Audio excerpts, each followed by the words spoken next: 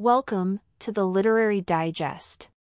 Please subscribe to the channel or give a like and comment on this video if you find it helpful to help us reach more people.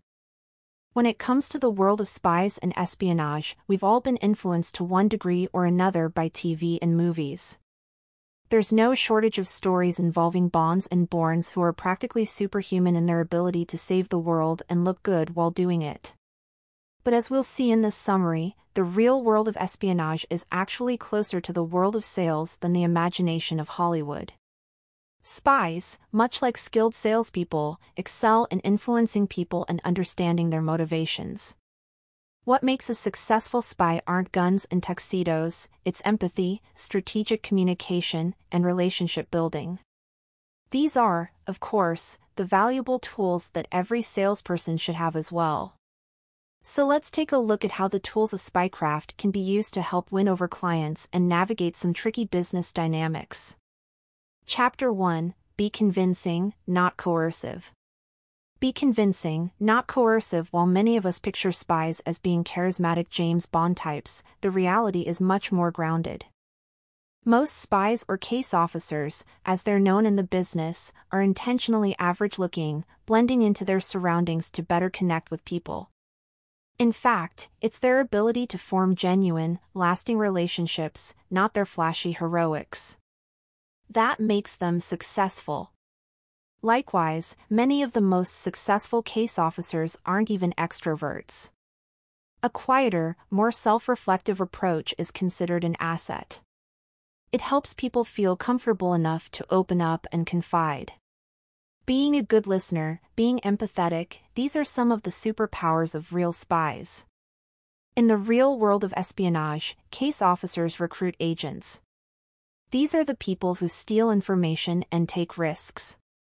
But the recruitment process isn't about coercion or intimidation. It's about building trust. Someone who's forced into being an agent will always resent you and look for a way out. So instead, spies focus on understanding what motivates their targets, whether it's money, educational opportunities for family members, or dissatisfaction with their own government. The lesson here? Spies convince. They don't coerce. This is where the world of espionage and salespeople meet. In both professions, it's all about listening, building connections, and establishing trust. That's how you get results. So, convincing an agent or a client to work with you starts by gaining intel. In other words, understanding their needs and what drives them. Spies often compare their jobs to being a psychiatrist, spending hours talking with and truly getting to know their agents. It's not always easy. Many of these people can be criminals or unpleasant officials from hostile governments. Yet spies practice what the author calls radical empathy. They find something human and relatable in even the most distasteful person. For salespeople, this means working past the arrogance or dismissiveness of a tough client to find that common ground. One CIA officer had to make a connection with a high-ranking official from an oppressive regime, a regime with a truly poor human rights record. The CIA officer didn't like this guy, but it was his job to find a way to start a relationship. He did this by bringing up an obscure Syrian philosopher that they both admired. This connection built trust, leading to valuable cooperation. Sales professionals may not have to win over a lot of militant extremists, but the correlation is the same. You need to find that common thread. Don't be afraid to open up, be vulnerable and share personal details. Bonding over family matters is a tried and true way of breaking down barriers and turning even the toughest prospects into allies. Ultimately, sales, like spying, is about mastering the art of connection. By practicing radical empathy, staying authentic, and building real relationships, you can stand out in a crowded market and turn prospects into loyal clients. Chapter 2 Knowing What to Say and How to Listen. Knowing what to say and how to listen right now, you may not think of yourself as a great conversationalist or a social butterfly, but these are skills that, like any other, get better the more you put them to use. By making these techniques part of your day to day routine, you will be on your way to building meaningful connections and gathering important information without being too obvious about it. One fundamental technique is known as elicitation, which is the art of subtly obtaining information without making it feel like an interrogation. Instead of direct questioning, elicitation is all about using prompts that get your target to open up. For example, human beings have an innate desire to correct someone when they've said something wrong, so you can take advantage of this by suggesting something you suspect to be incorrect in order to trigger a correction that reveals the desired information. A spy at a dinner party might say, I think we have something in common because I heard that Thai food is your favorite. The person will naturally feel the need to speak up and reveal the truth about their favorite food without realizing they've been prompted. This technique can be applied professionally, too. Let's say you're trying to find out if a client's going to renew their contract. You might say you've heard a rumor that the last quarter didn't go well and that budget cuts might be on the way. You can even end this prompt with a nice message like, let me know if there's any way I can be of help. This will likely get your client to open up and get a fruitful conversation going. Active listening also plays a critical role. In sales or in life, people who truly listen, engage, and remember names, phrases, or behaviors build trust and rapport faster. But good listening isn't just about being quiet. It's about being present and showing genuine interest. Simple tricks like not fidgeting and making strong eye contact for three or four seconds at a time can help. But if you find stillness and being present difficult, using yoga or meditation can also help build this important muscle. Another classic technique is known as mirroring. When you mirror the physical and verbal mannerism of your conversation partner, it strengthens your connection by signaling empathy. Whether it's copying body language or using key phrases they like, these little cues will subconsciously convey that you're on the same page. By practicing these subtle techniques in your everyday interactions, you will see for yourself how they can help you gather valuable information and build stronger relationships. Chapter 3 Observing with Purpose Observing with Purpose Atmosphere and Intangibles.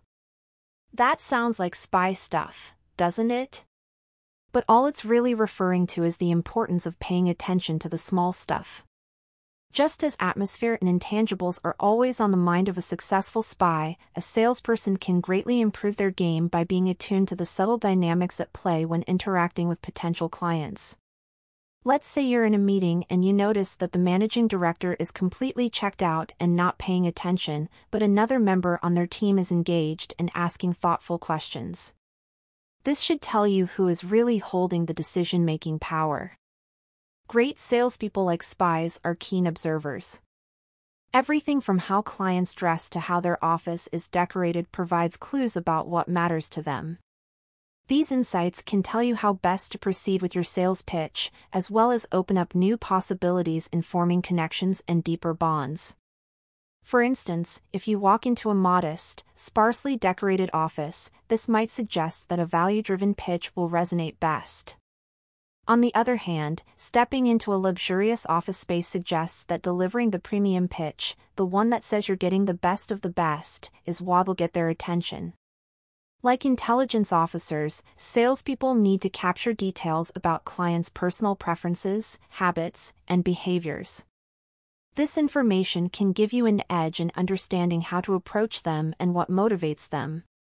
This means taking notes and making sure you remember these details and how to apply what you've learned at the next opportunity. This doesn't mean you should have your head in a notebook during an entire meeting. Jotting down the occasional shorthand note should suffice, but you can also take a page from the CIA playbook and have a dedicated note taker with you during meetings so that you can stay present and engaged at all times. Spies also do their homework. They go into a meeting knowing things like cultural contexts, whether regional, national, or organizational, as these will always play a crucial role in forming strong client relationships. It's also important to reiterate that this shouldn't translate into pandering or lying to your client just to get on their good side. Your honesty and trustworthiness are key to your success.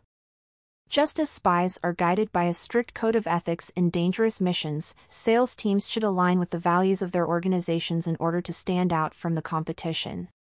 Making a sale is often about far more than just the product.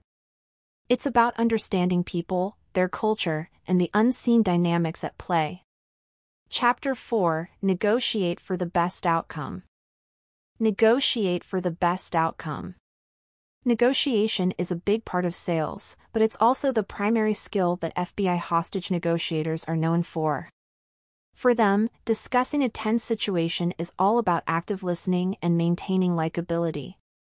That means keeping the other person calm, avoiding unnecessary conflict, and guiding them toward cooperation. The same holds true in business negotiations or a personal disagreement with a friend. Likability isn't just about being charming. It's about being genuinely engaged and interested in the other person's perspective. When someone feels heard, they're much more likely to cooperate. De-escalating a difficult situation involves a few key strategies.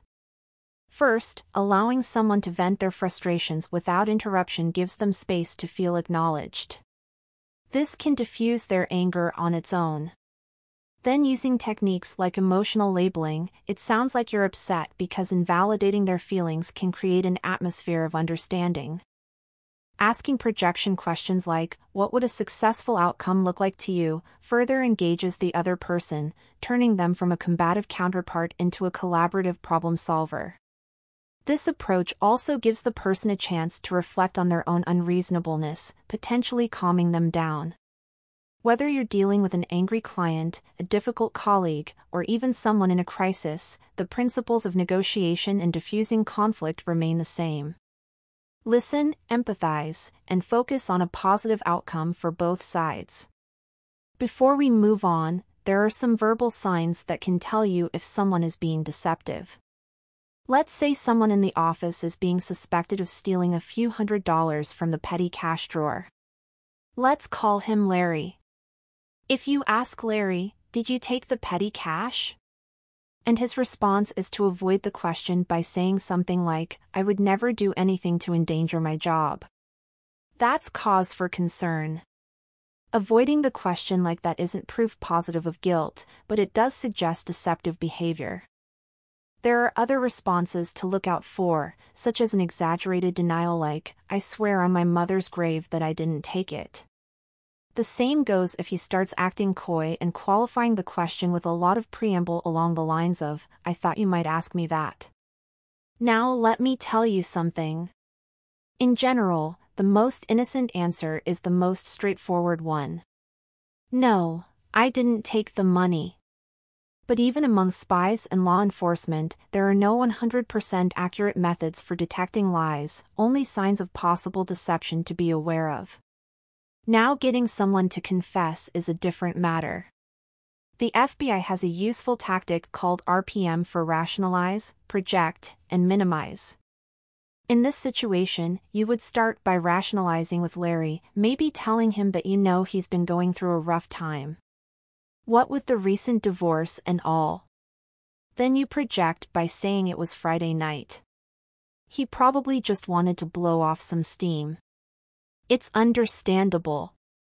Then minimize the consequences by telling him that given all of the circumstances, if he just confessed, we could work together to put this behind us. This approach is valuable when trying to avoid defensive reactions in delicate business or legal situations. These strategies aren't just for interrogation rooms.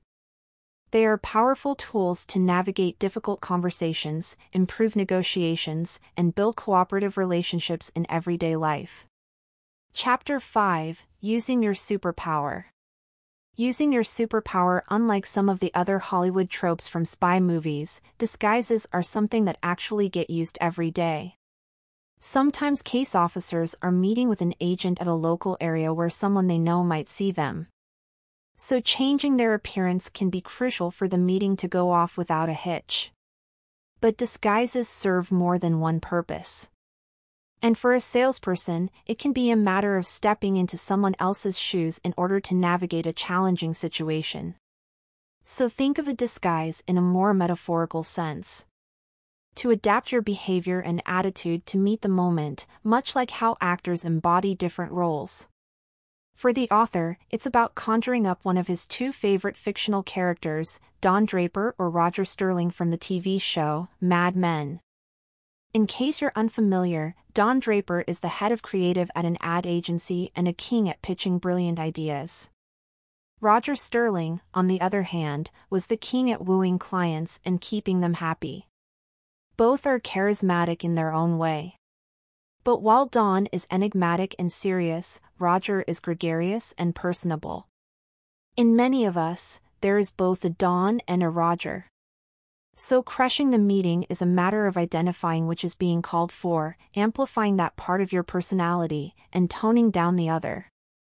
It's all about using disguise in a way that helps you succeed in your role. Networking can benefit from a spy-like approach as well. Instead of grabbing a drink and chatting to the first person you bump into, spies and smart salespeople will take their time to first observe the room. They'll note the popular ones who require more effort to approach. They'll spot the wallflowers who are easier to approach. Then they'll walk around, take note of name tags, and see if they spot any unique opportunities. Maybe there's a name that suggests a cultural familiarity, which would provide an opportunity for a quick connection. Good salespeople are strategic in choosing who to engage with, and this spotting technique is a powerful tool for building rapport and making meaningful contact. Lastly, let's think about your superpowers. You may not think of your personal hobbies, passions, or interests as a superpower, but they can be when it comes to building strong connections and loyal client relationships. It may sound like a cliche, but it's nonetheless true that strong bonds are still formed on golf courses and ski slopes, but these aren't the limits of the kind of interests that can form useful bonds. Maybe there's a charity you're passionate about. Maybe you love dogs, scuba diving, or European history. Any of these things can be a superpower when it allows you to steer a conversation into an area of expertise. When you speak with confidence and from the heart, you will be exercising your superpower and engaging with others in a way that is indeed rare and special. So don't be afraid to use it, and don't be afraid to go out of your comfort zone in order to broaden your interests and strengthen your arsenal of superpowers. Remember, knowing when to deploy your superpowers requires being a good listener, which is perhaps the most important skill any salesperson and spy can have. Learning to engage more effectively with those around us can unlock unexpected opportunities in both your personal and professional life. Practice these skills and techniques, and let's see what superpowers you can unlock. Final Summary The main takeaway of this summary to Sell Like a Spy by Jeremy Hurewitz is that the powerful interpersonal skills that spies use can be readily applied in sales and relationship building. Spies aren't just action heroes. They are master relationship managers who understand the nuances of human behavior. They practice radical empathy, focusing on a person's humanity rather than their flaws, and use vulnerability to forge deep relationships and use vulnerability to forge deeper connections. Spies and salespeople succeed through active listening and strategic communication. Techniques like elicitation, mirroring, and being keen observers of nonverbal cues can be used to help win over clients. By tailoring conversations to match your counterpart's interests and utilizing your own passions and hobbies, you can build strong bonds more effectively. The goal for salespeople and spies is to develop long term relationships that are based on empathy, mutual respect, and a deep understanding of your target's emotional needs.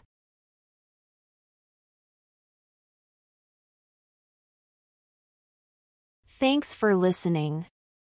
If you enjoyed this, please like and subscribe to the Literary Digest for more videos like this one.